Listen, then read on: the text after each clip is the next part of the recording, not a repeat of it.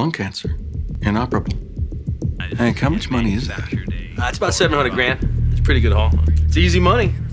Till we catch you. Oh my God. Pinkman. But you know the business, and I know the chemistry. Say hello to Domingo Gallardo Molina. How about you come work for me? Run, Mr. White, run! I'll teach you my recipe. We don't want people to start wondering about you. Why would anyone in their right mind choose not to do treatment, especially when it's completely paid for?